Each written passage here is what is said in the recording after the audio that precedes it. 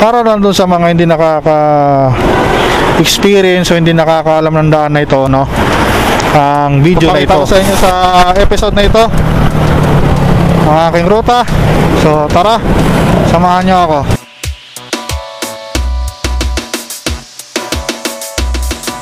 Isang ah, maulang hapon sa inyong lahat mga kapwa ko. Pagulong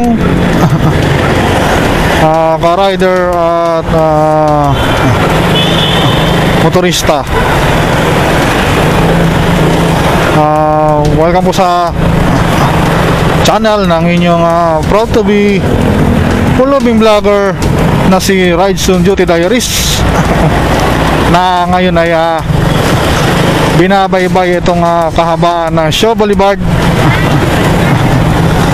Galing dito sa lungsod ng San Juan. Ah, tayo ay ah, pabalik na sa aming opisina sa lungsod ng Paranaque dahil ah, tayo ay nag-deliver kani-kanina lamang no? So yan. Traffic light na naman.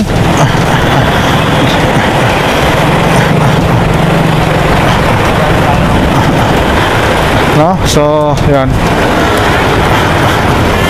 nandito na tayo sa may ah, old Wakwak ah, road. Lungsod ng Mandaluyong.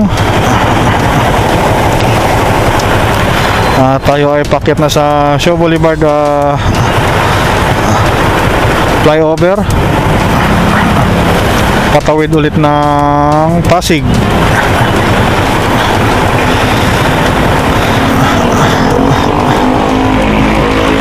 yun talaga sana yung bala ko pero sa ngayon ay lalabas tayo ng EDSA para ipakita yung ibang daan from EDSA to C5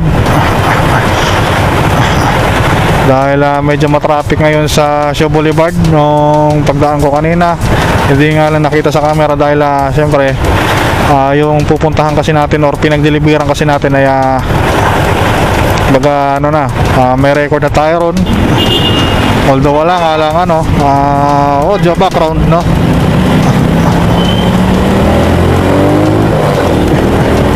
So sa ngayon ay nakago na tayo sa inyo sa episode na ito. Ang aking ruta. So tara. Samahan nyo so kagaya nga na naipangako ko kanina no lalabas tayo ng EDSA Ah, galing dito sa Shaw Boulevard. Instead na umakit tayo dyan sa ah, flyover na yan. Para tumawid sa Pasig eh gagawin natin. Ay ipapakita ko muna sa inyo yung iba pang daanan. Bukod dito papatawid ng Pasig. No? So para lang dun sa mga hindi nakaka experience o hindi nakakaalam ng daan na ito no? Ang video na ito. Hindi man tayo taga rito pero ito kasi yung uh, waka isa sa mga ruta na palagi ko naman dinadaanan din dati. So ito pa yung isa kong ano ah ah, pang hopeful na sana eh tanda ko pa yung daanan no kasi matagal-tagal na rin naman talagang hindi tayo nakakadaan doon sa lugar na yun. Siguro may ano na rin ah tatlong taon o apat na taon parang ganon. No? So sana sana ah, hindi pa nagbago yung daan. No? at sana bukas pa yung daanan na yun hanggang sa mga oras na ito. No? Ah tayo ay nakalabas na nga ng EDSA by uh, Shaw Boulevard.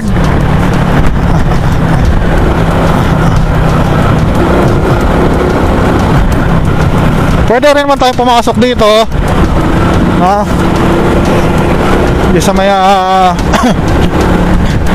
may, may condominium dyan eh. Nakalimutan ko yung pangalan ng kalsada na yan. So malapit-lapit na tayo eh no Pwede tayong pumasok dyan, pwede rin tayo sa kabila.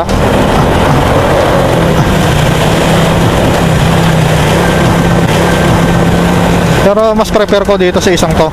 Kasi ito talaga matagal na talaga itong hindi ko na nadadaanan, no.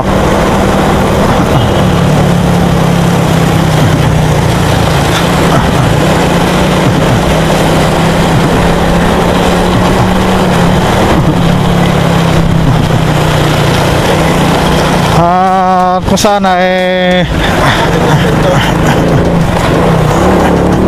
pwede pa. Or kung pwede na ba tayo makadaan doon eh meron sana akong dadaanan na isa pang kalsada palabas din ng C5 pero for the meantime eto muna yung ituturo ko sa inyo no mga kapatid mga kapulube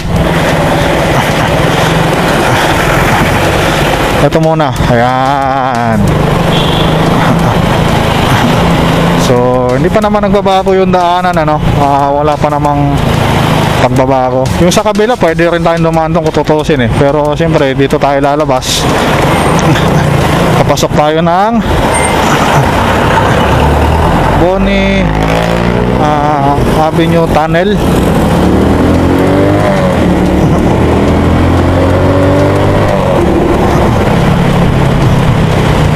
Ah, kung saan na yung tagos din natin eh, eh Ah, Pasig.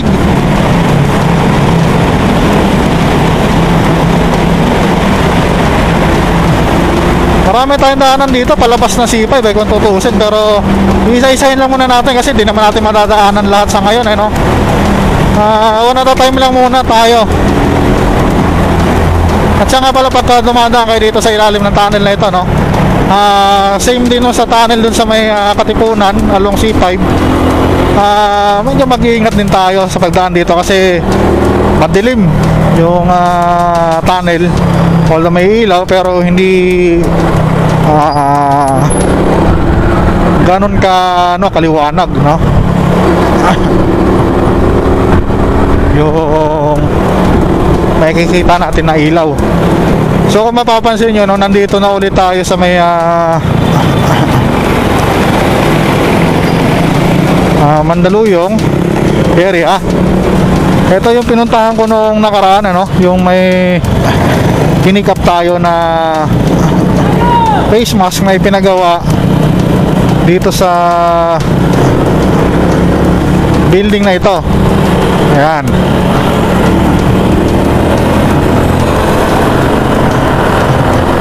Actually, pinagawa ni boss, ano?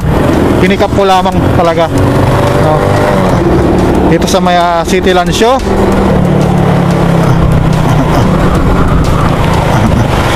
dito kapag lumigo ka rito nandito na yung bagong ah, bagong gawang ah, bridgeway link no from ah, na ang tawag ay ah, Ortigas BGC ah, bridgeway link so nag-open na siya noong June 12 Although putol nga lang kasi hanggang ah, dito lang sa may Kalayaan Avenue yung naturang kalsada hindi pa natatapos yung isa pang ah, kalsada palabas ng PGC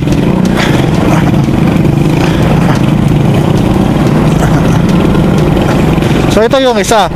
Pagtagos natin ito no ah ang lalabas natin dito is sa Show Boulevard ulit?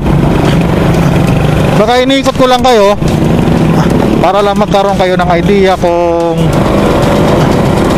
saan ba papunta yung mga kalsada na malimit kong dinadaanan dati hanggang ngayon. Na nandito na ako sa bagong kumpanya na pinagtatrabahuan ko. Well, karoon lang ah, sharing knowledge lang ika nga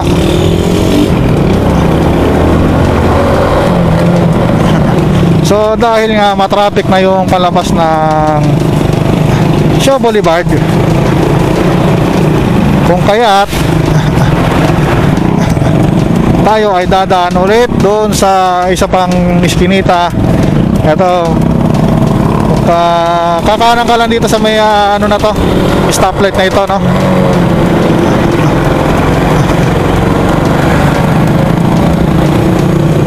Palabas din to ng so, ano. ayan, naipit tayo sa intersection na ito, no? Pero dito tayo liliko, actually. Sa United. yung kabilang stoplight na yun, kung makikita nyo sa video, no? Uh, yun na yung uh, Shaw Boulevard. Uh, tapat ng arko ng uh, Barangay San Antonio, Pasig. Itong intersection na to, ito na yung United ah, Laboratory sa street or yung yun, yung United, yung kung saan nakasa, kung saan ay ito yung lugar na nakasakop sa factory ng Unilab or ah, United Laboratories. Yeah, siyang may gawa ng ah, generic na right med.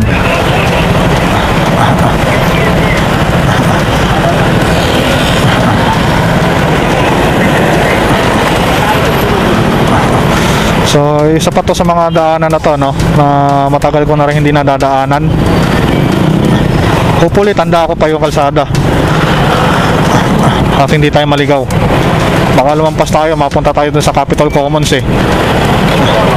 Eh, sarado naman yung Capital Commons na yun kasi exclusive subdivision yun. Walong Pasig. so pag tumagos tayo dito, ang labas natin eh ano na, ah, C5 na ulit.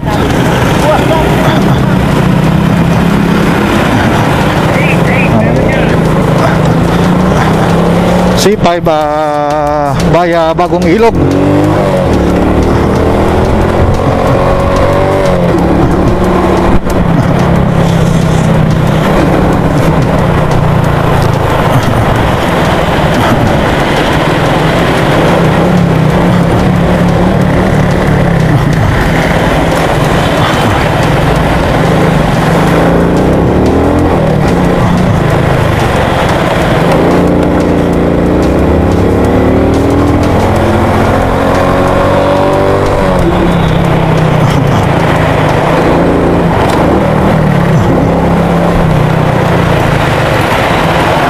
Tama kaya yung dadaanan ko no? Hindi ko alam. Hindi ko na maalala.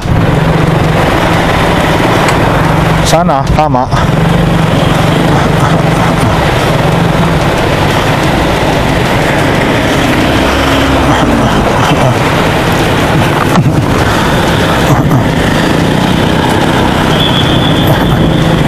Pagka kumaliwa ka rito, tanda ako eh ito yung paglabas mo kay Capital Commons, no?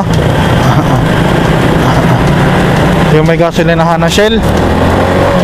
Ayun, tama, tama. And then paglabas mo diyan eh ayun, Pasig ano yan ulit yan? Shaw Boulevard pero along ano na yan, ah, within na the city perimeter of ah, Pasig. Ah, Petron pala, Petron. Hindi pala Shell. Sorry.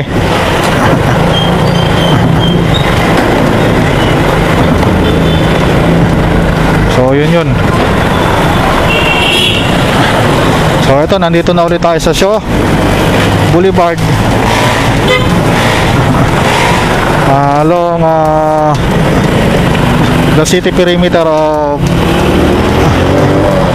Pasig City.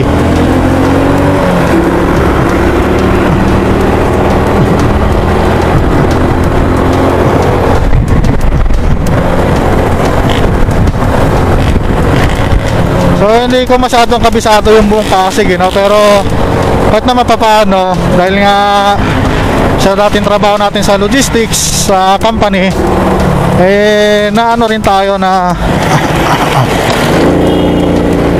ah, matutunan yung mga kakalsadahan dito. so ito, ah, labas ito, ba, ito na bagong ilog na to, no? Kapasigan, pagka dumiretso ka, tumagos ka ng C5. O tinawid mo yung C5. Yan yung, kap yan yung kapasigan. Ito, parati pa rito na siya Boulevard. So pag tumagos ka dun sa kabilang dulo, ah yun nga, pag tinawid mo nga yung C5 road ah, or sa C5 Garcia ah, Avenue or ah, o tama, C5 road nga siya, no? Pag tinawid mo yon ay ano na yun, ah, patagos naman yun ng C. Raimundo Avenue. Dire-diretso yun hanggang sa mga punta ng Eusebio, pamuntang munisipyo. Meron din doon patagos ng baybay na Ah, yung tinatawag na Manu, ah, ML Quezon na street or avenue.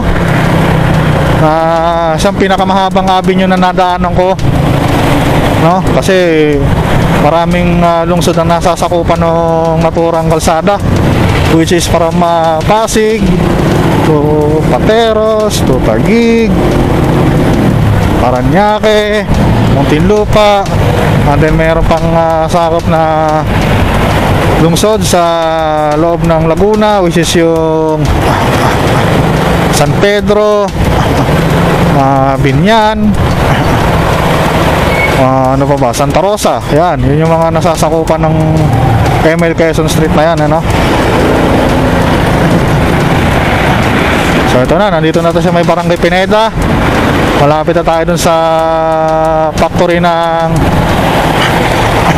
arena ng URC or Universal Robina Corporation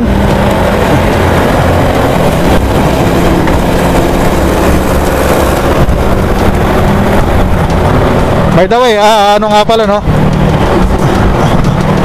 Ah, isa sa mga pangalan ng ah, C5 is ah, E. Rodriguez Jr. no? Ah, just so you know, hindi lang CP Garcia ang tawag dyan sa lugar na yan. Hindi lang din na C5 Road. Kundi ah, ayun nga, ah, E-Rod. E. Rodriguez. So ito, pag yan, sinasabi ko sa inyo, pag dumiretso kayo dyan, kapasigan na yan, no? Ito, labas natin ay C5 na ulit. Although kanina, eh, pwede naman sana talaga tayo nga dumire-diretso na lang doon sa Show Boulevard ah, flyover. Dadaan tayo ng Mandaluyong. Lalabas tayo ng Pasig. Dire-diretso yun hanggang dito sa C5. Pero siyempre kung ayaw mong ma nga maipit no sa mabigat ng talo ng trapiko dahil ah, madalas din yan sa Shaw Boulevard ah tawag dito yung flyover eh nagkakaroon din ng aksidente dyan. So once na naipit kayo dyan sa matinding traffic dulot ng aksidente. So ito yun yung mga alternative ways ninyo no para makalabas kayo ng EDSA, makalabas kayo ng C5, makabalik kayo ng C5, o makabalik kayo ng EDSA, no? So, yun lang yung mga ano ninyo, alternative ways ninyo. So sa ngayon ito, dire-diretso na ulit ito. Ah ng ah, Tagig. And then ah, lalabas tayo, dire-diretso papalik ng uh, Paranaque no sa aming opisina. So sa ngayon, yan lang muna no. At siguro naman ay naituro ko na sa inyo yung ibang daan sa pamamagitan nga nung ah, ruta na aking mga dinadaanan ano. So ito yung kalayaan na pag lumiko ka dyan. Parehas yan, harap likod no. Ah, kalayaan flyover.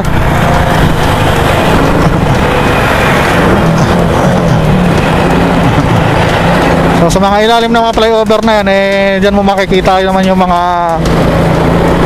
ah, lay-by ah,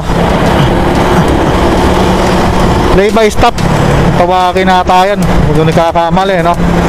Sana pagka may emergency or ayun emergency bay. Eh, pwede rin lay-by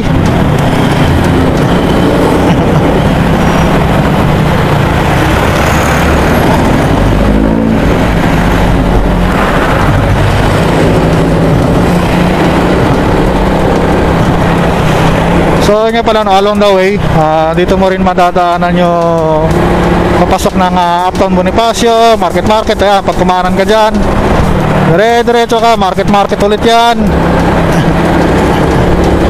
And then, ah,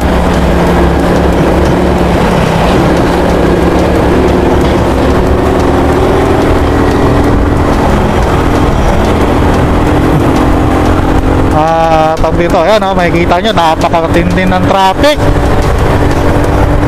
Halos walang galawan, kanina pa yan. Papunta pa lang ako. Ah, gumalaw ah.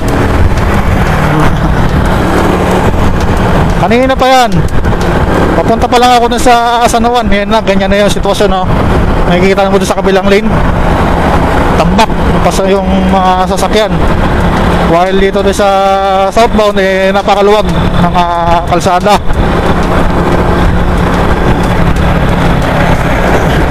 So more or less yan, dito lang yan sa Ortigas. Nagkakaroon ng ah, build up. Ha? So Ayan, kung makikita mo dito sa kanan, ito na yung ah, SM Aura. And then, ah, patagos ka ng konti, oh, market market, sako pa rin, ano? Nasa likuran lang yon. And then, ah, next sa stoplight na inyong madadaanan ay ang uh, McKinley BGC. Or uh, McKinley lang yata yun, kung doon nagkakamali. Hindi ko rin naman masyadong pamilyar yung lugar niya pero nadadaanan ko rin naman yan ano. So Ito nga pala nga video na to is uh, dedicated for uh, may uh, tropa na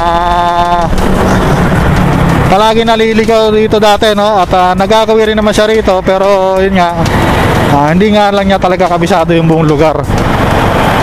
Dala base dun sa kanyang kwento sa akin nung nak- itong nakarang araw lamang eh galing lamang daw siya ng Uptown Mall. Eh, para daw siyang bumiyahe ng ano ng Quezon Province dun sa lugar nila no? Ayan. Korean Embassy.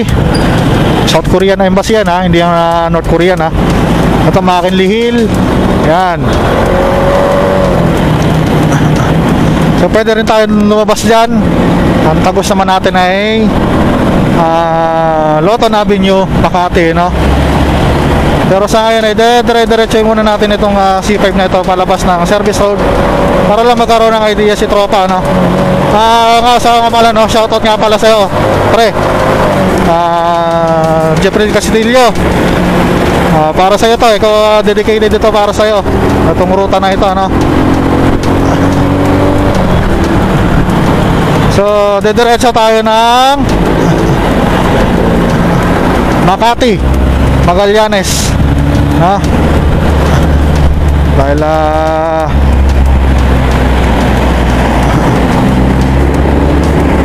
tayo ay ah, magdadala ng ah, isang item na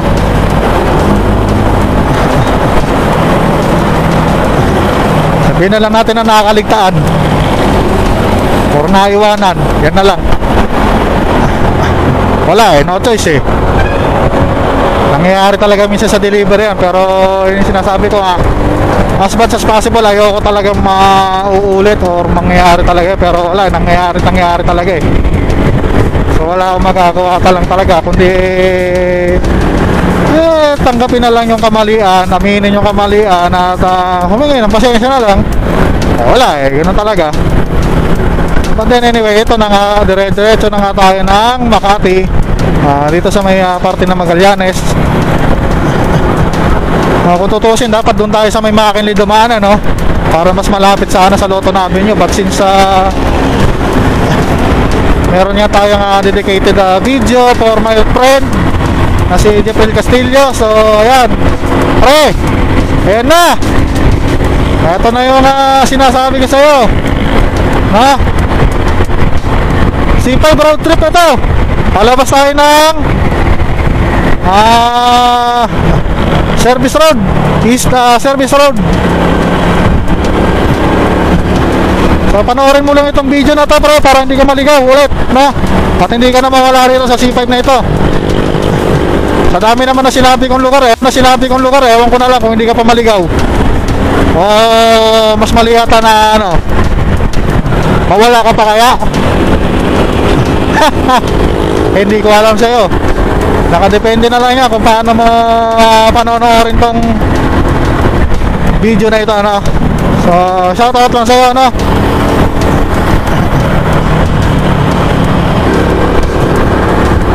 Medyo mahaba yung video natin ngayon dahil ah yun nga, ah, ito ay ah, dedicated video para doon sa tropa. So isa pang ah, ano nga pala dito na shoutout do si Jerome Pangilinan or ah, mas ah, kilala ko kung itatag ko siya sa pangalan na Romeo Pangilinan sa Facebook eh, no? So, pakihanap na lang po, at paki-message sa kanya. Pakisabi na ano, shoutout ka mo. Huwag na ka mo siya maliligaw dito sa C5, no?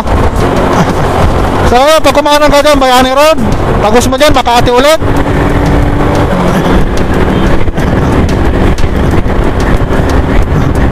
So, mamaya, dito tayo na doon pabalik, ano? Ah, may uh, Lotan Avenue para makita ng tropa kung paano at kung saan tatagos. Ah, ang labas natin ay ah, FTI na, ano? Yun ang ah, gagawin natin na next na ruta. So, siyempre, doon sa mga nakakaalam na sa lugar na ito, na alam nyo naman ako saan ito papunta. Saan ang destinasyon ko ngayong araw na to o ngayong hapon na ito, no, habang ah, tayo yung bumabiyahe pa, ano, along ah, C5 within the city perimeter of ah, Taguig. So, dito sa kanan ko ulit, ito yung ah, Heritage Park or yung ah, cemetery ng mga sikat. Ha?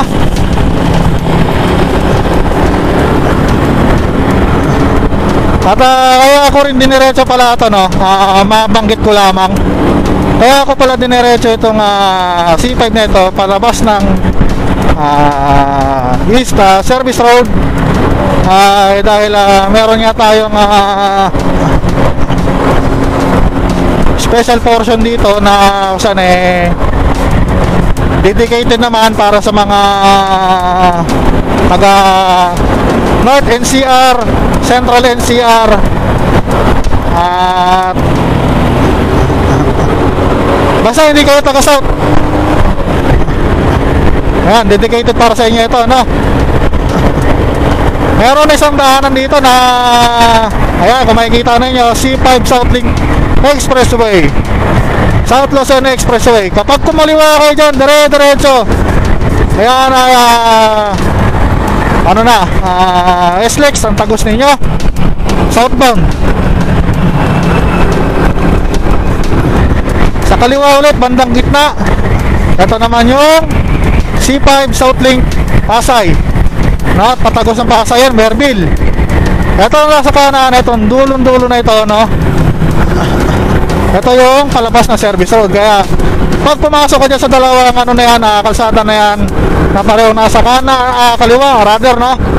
Ah, tapos hindi ka naman naka 400cc ah, motorcycle eh huwag mo na pangarapin dahil sigurado multa ka na. Kumpiskado pa lisensya mo. Kaya mag-iingat kayo no? So yun yung ah, tulay na yan. Palabas ng uh, Merville Pasay.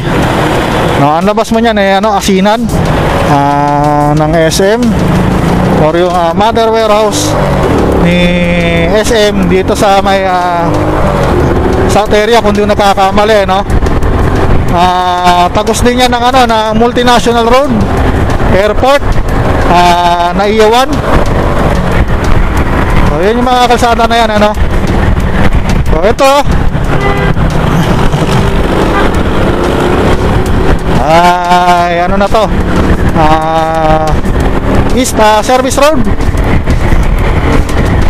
Ah, within the city perimeter pa rin na ba Tagig ang tagos natin ito ay Makati na ano?